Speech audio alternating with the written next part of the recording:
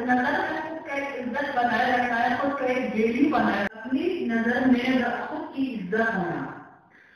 जिस आदमी के पास सेल्फ स्टीम नहीं ना, वो आदमी से गुमराह खो गया है।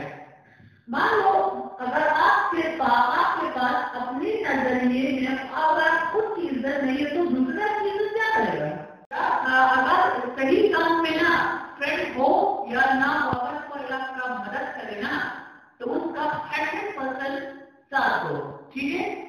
अभी ने बोल रही है अच्छे काम में कोई विश्वास नहीं रहता है। फॉर एग्ज़ाम्पल अगर आपको इंग्लिश सीखने को मतलब वो टाइम याद है? एक क्लास में था तो हमारे स्कूल में हमें कंफ्यूजन ये जो हूँ मैं आपको हमेशा अभी डिफ्रेंशिएट करके ही रहना है, ठीक है और एक बात कहना चाहूँ तो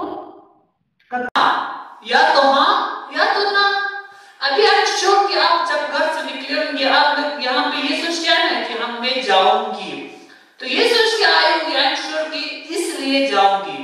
वजह ज़रूर होगी, है ना? ऐसे तो नहीं आए होंगे, घर से।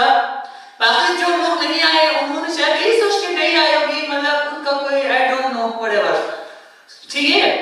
अब आप जो आप जो आप दस लोग आए हैं ना, आपको ये सोच के तो आप ज़रूर आएगी मतलब कुछ ना कुछ मुझे करना है मतलब कुछ ना कुछ वट एवर चाहे वहाँ पे दस मिनट ही क्यों ना बैठे ठीक है अभी अगर आप एक स्टूडेंट यहाँ पे आती ना एक आप दस एक ना, मैं उसको मोटिवेट करता अपने लेवल पे।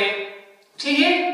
क्योंकि अगर यहाँ पे मान लो सौ स्टूडेंट आती तो उन सौ में से सौ का सौ तो मोटिवेट कहाँ हो गया? पे सौ आया ही नहीं तो मोटिवेट हो तो बहुत दूर की बात।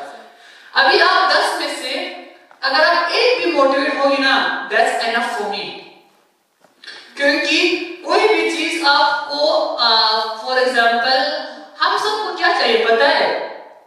बिरयानी खाने का जब मन करता है ना, बस बिरयानी पका के, उसमें मसाले डाल के, थाली पे तैयार करके बस ये लीजिए खाइए। बस ऐसा चाहिए। हम खुद को किसी भी चीज़ में इन्वॉल्व नहीं करने देते, बस कि कोई, बस कोई हमको ये डाल के दे, बस ये चाह रही ये लोग थोड़ा कुछ पाने के लिए कुछ सहना पड़ता है थोड़ा पेन इसको ना जो आप जो उन्होंने यहाँ पे आके मतलब जो उन्होंने अचीव करना था ना वो उन्होंने मिस किया ना अभी आप लोग को ठंड लग रहा है आई एम श्योर आप मुझे पता है लेकिन मेरे हिसाब से आप इसको स्वीट पेन कह सकते सर हम जब स्कूल में कोई ओकेजन करते हैं ना हम लोग तब उस टाइम गर्ल्स के क्या स्टेटस स्टेटस होते हैं और रोल होते हैं और क्या रोल होते हैं ट्वेंटी बॉयज़ ट्वेंटी गर्ल्स हैं। अब कोई टीचर आएगा, मान लो फॉर एग्जांपल एक ओकेजन है, ये हंड्रेड एंड वन परसेंट मेरे अकॉर्डिंग स्टूडेंट पे डिपेंड करेगा। अगर स्टूडेंट अंदर से कॉन्फिडेंट होगा, अगर फुल आदाब नाजरीन, मैं हूँ आपका मेज़बान फ़िरोज़ खान और आप देख रहे हैं इस समय लद्दाख नाव तो नाजरीन, जैसे कि आप जानते हैं कि हमारी कोशिश रहती है कि हम कुछ ना कुछ नया आप लोगों के सामने ला सकें।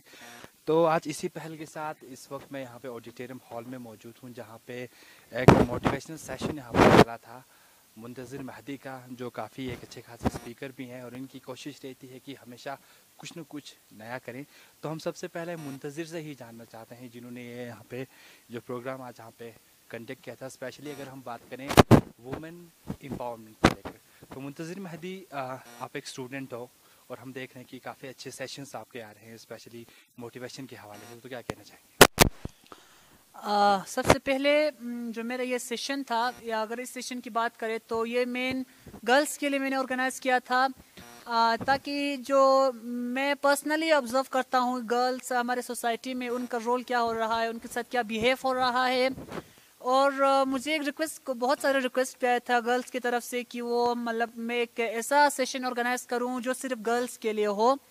और गर्ल्स का सबसे इम्पोर्टेंट सोसाइटी में उनका उन्हीं का रोल होता है। तो इसीलिए मैंने ये मेन थीम यही रखा था वुमेन और girls empowerment in our society whether in school at home और कहीं पर भी।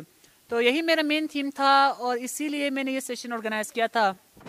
मेरा नाम फातिमा है अ, अच्छा प्रोग्राम ऑर्गेनाइज किया था। और अ,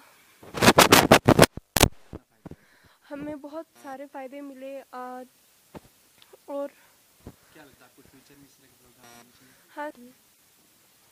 मेरा नाम हसीना बतूल है मैं पोयम से हूँ। और हमने आज यहाँ पर बहुत कुछ सीखा। यहाँ पर सिर्फ़ गर्ल्स आए हुए थे और मुंतजिर सर ने हमें बहुत कुछ सीखा यहाँ पर कि सोसाइटी में लड़कियों को कैसे बिहेव करना है और हर चीज़ में पार्टिसिपेट करना है। और सर ने विलिंग हमें पार्टिसिपेट करना चाहिए बिना किसी डर डरावे और बिना किसी हेजिटेशन के। ये सर, होने चाहिए और होना भी चाहिए सब कुछ।